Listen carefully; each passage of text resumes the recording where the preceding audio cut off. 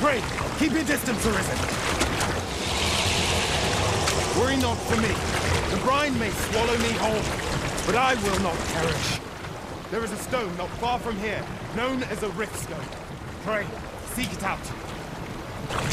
If you're truly the Arisen, then our paths will surely cross again.